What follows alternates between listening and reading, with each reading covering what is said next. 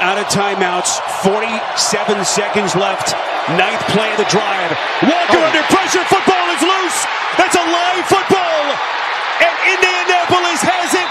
Buckner. Illegal contact. Defense. Five yard penalty. Automatic first down. Wow.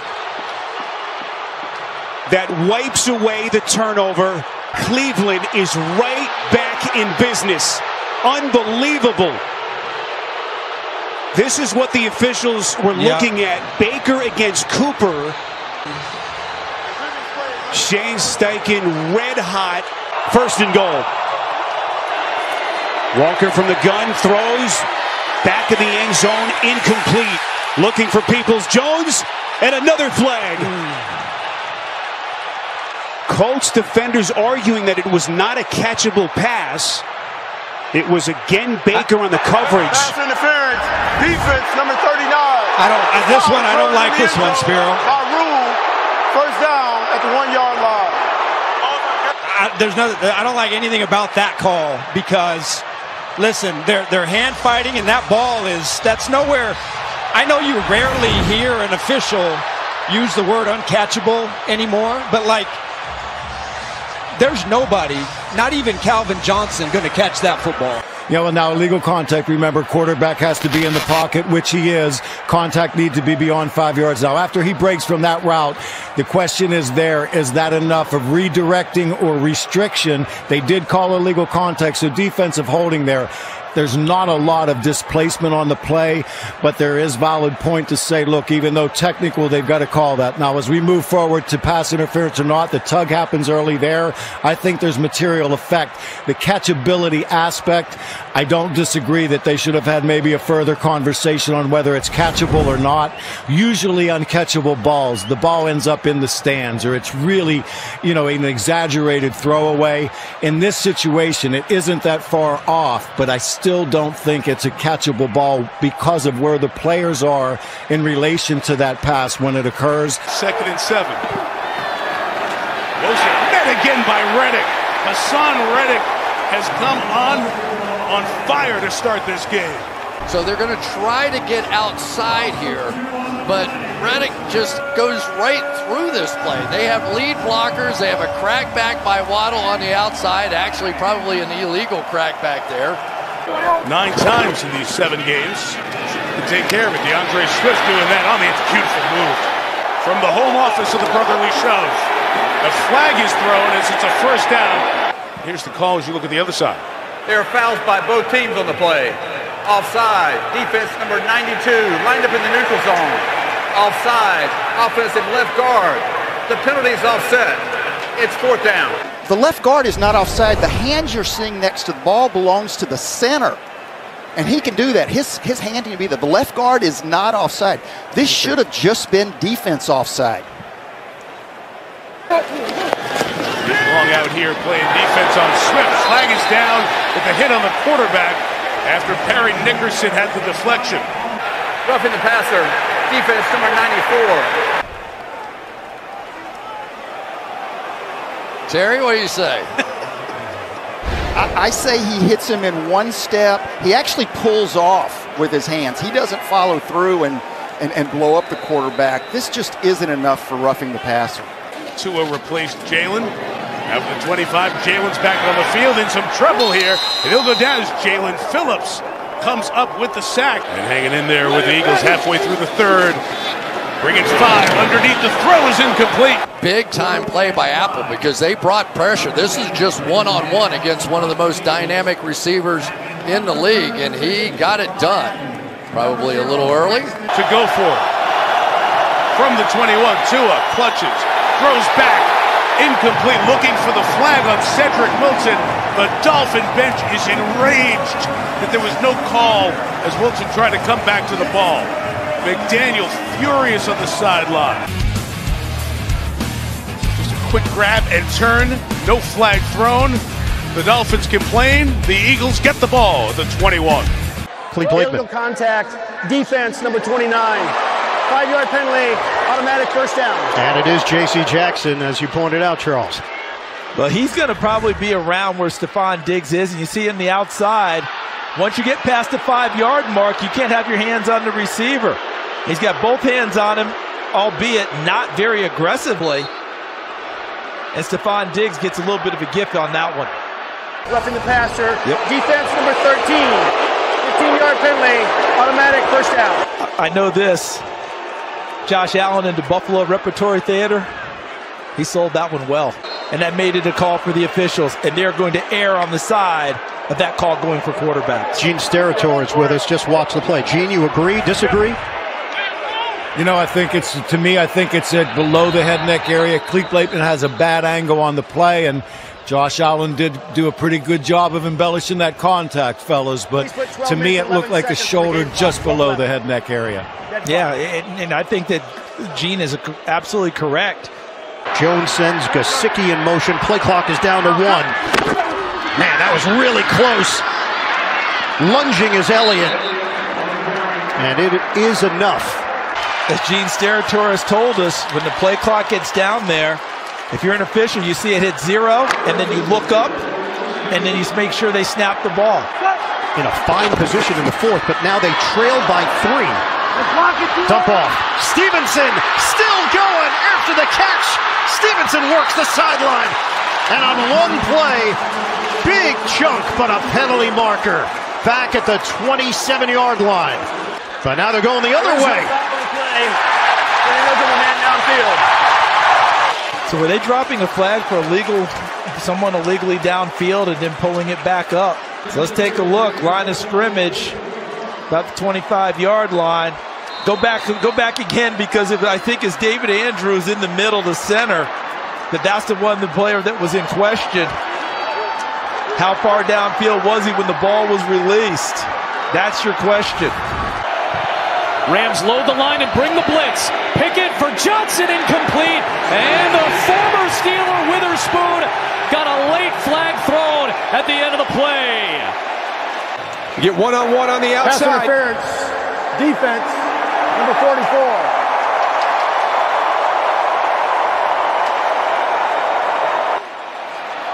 Yeah, I, am kind of the same as Ahkello Witherspoon right there. It's more Diontae Johnson kind of adjusting to that throw and jumping that way. Sean McVay is asking the side judge, Frank Steratore, about it. Trying to get that back shoulder, right? So you're going to go to the back shoulder. Now it's thrown forward. You know, it's an adjustment by Diontae Johnson to go get that ball flight because it's now forward. It's not on that back shoulder. I, I don't think that there's enough contact there and the magnitude of the, the position we are in the game to let it be done on a, on a pass interference call. Interference, defense, unsportsmanlike conduct, taunting, offense. Those penalties offset. Replay, third down. That is a massive break and a bad decision by Diontae Johnson. It offsets the penalty, so now you replay it. It essentially negates the Witherspoon penalty. Dean Blandino's with us. A very important sequence there.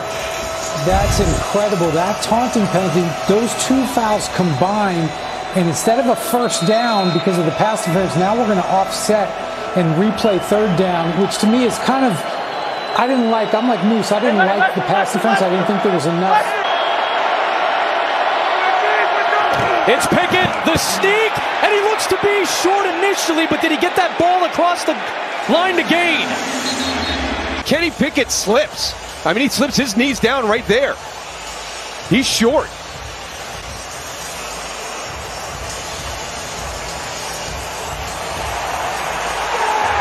Goodness. Just past the line to gain.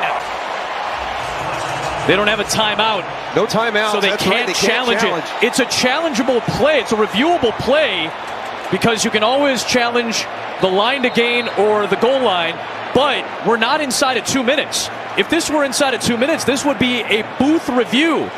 But Sean McVay, because they don't have a timeout, cannot challenge this. And as we This hit the two-minute warning, two-minute warning. Pittsburgh can take three knees and close out this game. You just watch Kenny Pickett's going to slip a little bit with his players, and that knee goes down quickly.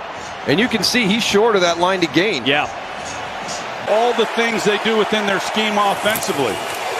Might have gotten away with a false start on Jennings, and he's the one who catches the throw from Purdy. Coming down on him.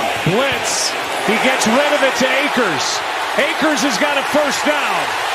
Akers has got more than that. Plowing his way inside the five. And a 30-yard catch and run by Cam Akers. Well, this is set up pretty well. Even when you call a screen pass, uh, there goes T.J. Hockenson. This isn't good for the Vikings. Well, I'll say this. We just caught Kevin O'Connell on camera saying, TJ, go down. Buy him some time. There's O'Connell telling Hockenson to go down. He is down now, and we'll take a break. Money on third downs tonight. Vikings are five for six, and there's nothing there. With pressure from Randy Gregory in his second game. If there was ever such a thing as intentional grounding on a screen pass, this might have been it, John. Yeah, there, what we what we term no air. He throws it directly into the turf. I like it as grounding based on how he threw the football. There's no air underneath it to get it in the vicinity of number 30. Carve this defense up. Here he goes, aiming for Addison. A lot of contact, no flag with Charvarius Ward. I thought he was grabbing him the entire way. Maybe Addison's, so. Addison's injured. Lower right leg, and that's what Addison was grabbing at. This crowd wanted a flag. There was a lot of contact, no flag. Hoyer, four-man rush, looking for Myers again, and a flag is down. Myers didn't turn around till late working against Tyrique Stevenson. Here's the coverage down at the bottom. Pass interference. Defense number 29. The ball is placed at the spot of the foul. Automatic first down. It's a tough flag against Tyrique Stevenson. Holding. Offense number 75. 10 yard penalty at the previous spot. Replay second down. That's his second mark. Well, he's got to just let this go. You're going to see him get tangled up right here, and the back is going to make a move to his left. And Tillery does a good job of getting his leverage and then acting it out, making sure, showing the flailing arms to catch the attention. Bears fans just saw it on the big screen here and are reacting. That wasn't much. Great rush by the Bears. Second down at 18 after the sack. Hoyer over the middle looking for Davante Adams. He was well covered. Stevenson was there. Brisker was in the area.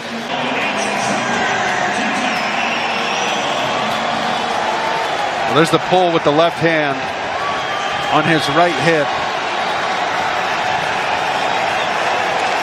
Hoyer thought that pull should have Yeah, resulted in a flag. He was looking for it. Third down at 18. And Homer bobbles it, the ball loose. And Travis Homer dribbling it off the turf, able to control it. They're going to call it a pass. It's a forward oh. pass, and so it's an incomplete pass. Oh, poor Bixon. I, I mean, that's even or backward. I agree. I don't know. Looked to me like a toss, not a pass. Ball start. Offense number 71. Five yard penalty. Fourth down. And that's on the center. Josh Myers, the center. Let's see if he does an abrupt move. A lot of times, if you do a, they do that all the time. I- not all su- the I'm not- time I they mean, do that's, that. you're always you're either looking for I your guard to give you an indicator or your quarterback. Matt LaFleur is hot about that, and he has reason to be. Fake to Dillon. Blocked by Musgrave. He's got him! And it's caught at the same time. Dobbs! Goes to the offensive player. It's a touchdown! I, I'm going to have to disagree with the play, and here's why, guys. Look, four hands possess this football while both players are airborne. It is not a catch and finalized until you have possession with two feet down. If you look at this play when the four players possess the football, the defensive player's feet land before the offensive player's feet land. The ball never disengages from either one. So, in my opinion, Sertain possesses the ball with two feet down before the receiver does, and I therefore think it's an interception. Intentional grounding, offense number 14. That foul is a loss of down, 10 yards from the previous spot. Now, look, this play is not a sack, but Kayvon Thibodeaux comes free on the right side. And you see him start to get pressure out here on Sam Howell. Sam Howell recognizes right away that he's going to likely get sacked if he doesn't throw this thing away. So he flips it into the space over here. Brian Robinson is not even close, according to the officials, even though that's a little bit. And you iffy. see, yeah, you see Ron Rivera. Usually the officials are pretty pretty lenient with somebody being in the area and you're throwing the ball away. I, I get Ron Rivera's frustration right there. Usually you get some wiggle room if somebody is even close, you know, remotely close to that. Yeah, I think that Sam Howell didn't even see Brian Robinson. He was just throwing it away, knowing that Brian Robinson was going to be there. Because if he was aware, he should throw that at his feet. Just throw it behind him.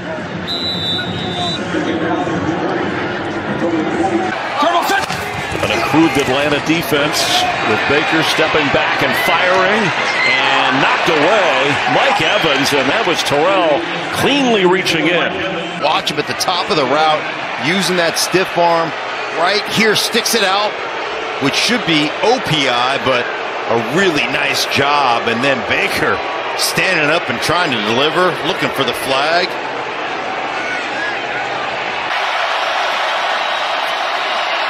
Lawrence.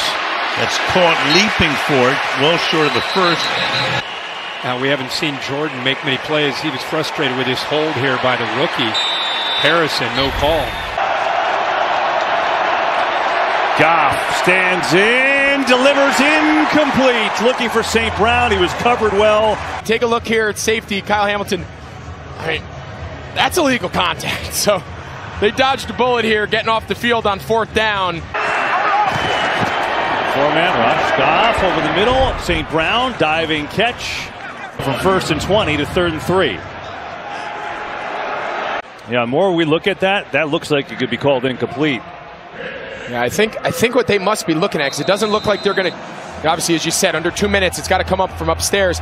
The ball can hit the ground as long as it doesn't move. You can see the line Well- judge explaining that to Harbaugh. Yeah, I think clearly that's why they took the timeout. They wanted them Yeah. to look upstairs, but they stay with the call. Back to throw. Pressure coming.